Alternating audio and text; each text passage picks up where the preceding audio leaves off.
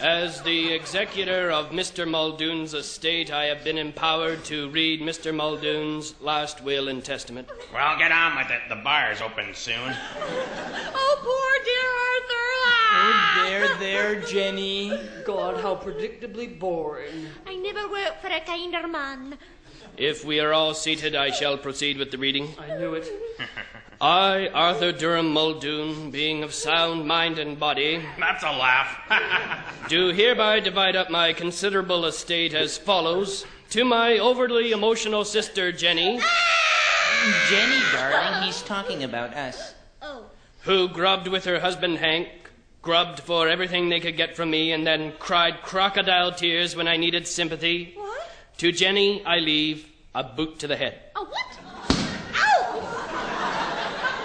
Jenny, are you okay? And another boot to her wimpy husband Hank. Ow! This is an outrage. Ah, but still, you are my sister. You have both admired my Rolls Royce, and since I no longer need it, Oh, dear Arthur, he's too kind. I bequeath another boot to the head. What? Ow! And one more for the wimp. Ow! Next to my alcoholic brother, hey, I don't want no boot to the head. to dear Hedge, who has never worked a day in his drunken life, I'm covering up my head. I leave my wine cellar and three crates of my finest whiskey. Really? And a boot to the head. Oh! And another for Jenny in the wimp. Ow! Oh! Oh! Next, to my know-it-all nephew Ralston, This is so predictable. I leave a boot to the head Ugh, I knew it. and one for Jenny and the wimp. Oh! Oh! This takes care of family obligations. And now to Mrs. Mulroy, Oh, I don't want nothing. who took care of me faithfully these many, many years, who cared, made me laugh, brought me tea. Oh, I didn't mind. To Mrs. Mulroy, I bequeath a boot to the head. And one for Jenny and the wimp. Oh!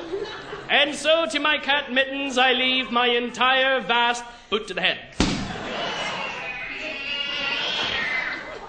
And finally, to my lawyer, who has helped me on this will, I leave not a boot to the head, but a rabid Tasmanian devil to be placed in his trousers.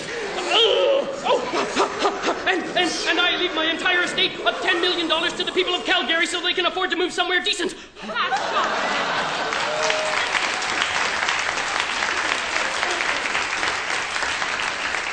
that it? That's it? That's disgraceful.